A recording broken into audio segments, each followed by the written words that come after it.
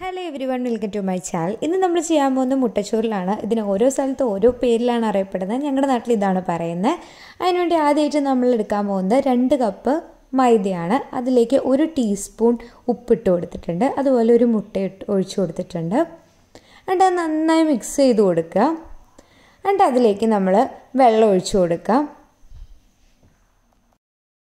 വെള്ളം നമ്മളിവിടെ ഒഴിച്ചു കൊടുത്തിരിക്കുന്നത് ഒരു കപ്പും രണ്ട് ടേബിൾ സ്പൂണുമാണ് വെള്ളം ഒഴിച്ചു കൊടുത്തിരിക്കുന്നത്. നമ്മൾ ലാസ്റ്റ് ഈ ബേറ്ററിന്റെ കൺസിസ്റ്റൻസി കാണിക്കും. അതുപോലെ ആവുന്ന രീതിയിൽ നമ്മൾ കലക്കിയെടുക്കുകയാണ് ചെയ്യേണ്ടത്.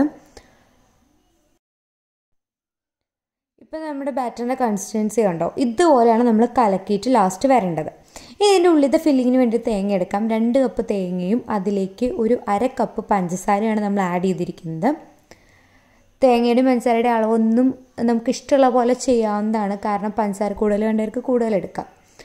പിന്നെ ഇത് നമുക്ക് ഒരു പാൻ വെച്ചിട്ട് അതിലേക്ക് മാവ് ഒഴിച്ചു കൊടുത്തിട്ടുണ്ട്. മൈദമാവ് ഒഴിച്ചു കൊടുത്തിട്ടുണ്ട്. സാധാ ദോശ ചുട്ടെടുക്കുന്ന പോലെ ചുട്ടെടുക്കുക. അതിന്റെ ഉള്ളിലേക്ക് തേങ്ങയുടെയും പഞ്ചസാരയുടെയും ഫില്ലിങ് വെക്കുക. ഇത്രയേ ഉള്ളൂ നമ്മുടെ മുട്ടച്ചോറിൽ. ഇതെല്ലാവർക്കും ഇഷ്ടമായെന്ന് വിചാരിക്കുന്നു.